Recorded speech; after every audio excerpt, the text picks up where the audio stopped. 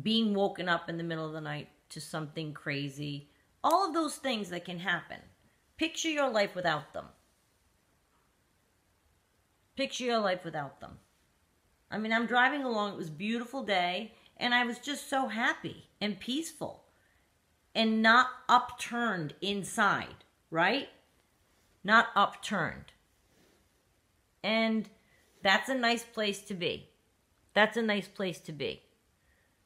And it can only happen if you realize that you are not the cause of that impulse control. And maybe you do have to get away from the person that is putting upon you all of this behavior. Because generally, they, between their grandiose view, like I said, of themselves and their lack of empathy and conscience or guilt or shame, they're going to do something again. They have a lack of impulse and control. You know what I'm saying? Like lack, zero, zilt. They don't have it. So they see candy, they're going to take it, whether they have the money or not. They see a toy they want, they're going to get it. They're going to do whatever they need to do to get what they want. And if they get to crush somebody's spirit in the meantime that has shown them love, even better because they want to win.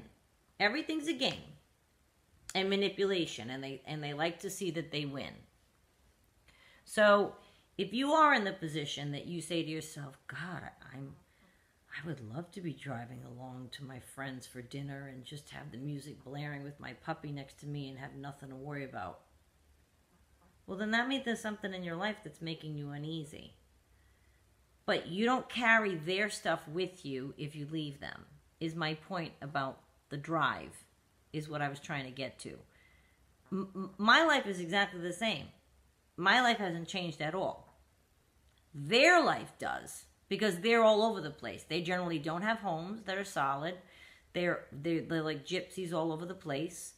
Um, they're from one person to another.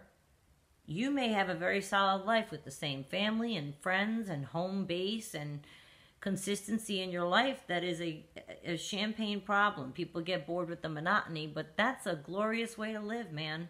You have a solid, nice life. I, I say to everybody, I have a happy, quiet, simple little life. And that's what I still have. So don't allow anyone to blame you for their lack of impulse control and say that you did something to cause it. That is ridiculous. Okay, I hope I made my point. Anyway, all right. Well, thank you so much